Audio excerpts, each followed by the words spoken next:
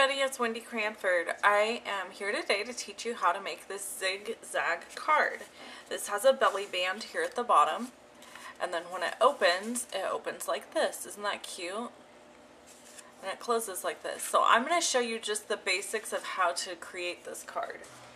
The first thing you're going to want to do is have two pieces of paper 6 by 10 And then you're going to use your Stampin' scorer and trimmer.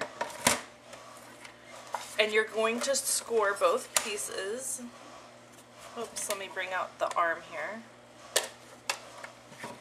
You're going to score both pieces at 4, 6, and 8. Okay.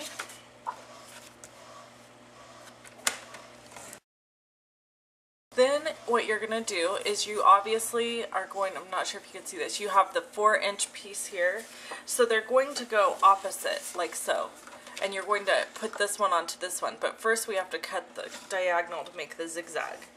So you want to line up um, the bottom of your card for two inches from the bottom on each side. So on this side, I'm going to actually flip it over, line it to the two inch mark, and put a little score mark. And then I'm going to line that score mark up with my top score mark over here, the four inch piece. Okay.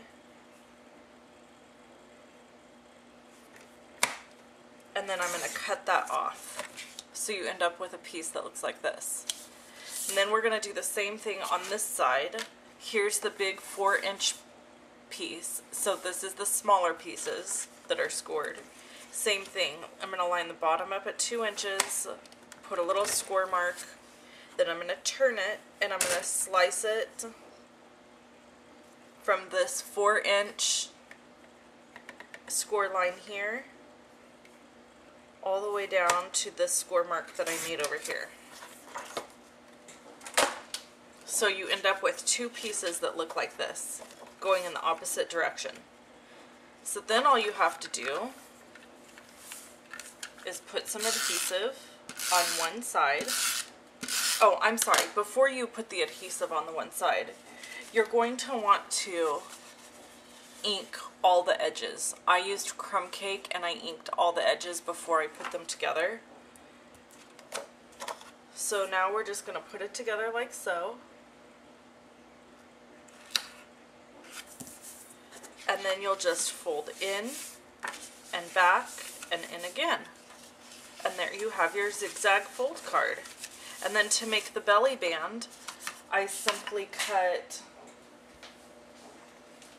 a piece of designer series paper at two inches by nine and a half and then layered a second piece of the Tea for Two on top and it's cut at one and a half by nine and a half. So that's it. That's how you make this super cute zigzag card. And you can decorate it however you'd like. I used the Oh Hello stamp set to decorate mine, and I really love how it turned out. Thanks so much for watching, everybody. I hope you have a great day. Bye-bye.